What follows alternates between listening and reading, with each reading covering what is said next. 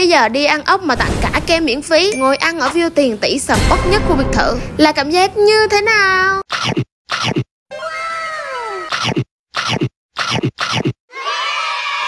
Cũng gọi là bước nửa chân vô giới có tiền đi anh chị bất động sản cho em biết cái giá căn gốc ở khu dân cư Cityland Gò Vấp này khoảng bao nhiêu không ạ? À? Chứ bán ốc mà thuê nguyên cái căn này hay là cái căn này chính chủ đi là cũng gọi là thứ dữ đúng không? Ốc sữa khu Phú Nhuận thì hot quá rồi, nay về hẳn Gò Vấp luôn rồi nha. Các món bên đây mình thấy trung bình là từ 25k đổ lên. Eo ơi mình gọi nhiều lắm nên là chỉ nói sơ qua những món mình cực kỳ thích ở đây thôi nha. Đầu tiên là con nhum là cái con mình đang cầm trên tay đó, vốn dĩ là ăn không cái thịt của nó đã béo rồi nha. Ở đây còn có thêm cả trứng cút với lại phô mai. Đấy tôi đố ai mà kìm lòng được ấy hàu phô mai, sò đi phô mai, bào ngư sa tế, đỉnh đỉnh đỉnh nên gọi nha. Số phô mai ở đây mình thấy cho cực kỳ là nhiều luôn, độ béo vừa phải. Cắn vô cái con ốc á, nó dai dai sừng sực, nó đã gì đâu. Ngoài ra thì bọn mình cũng gọi mấy cái món nhâm nhi như này cũng ok là phết á.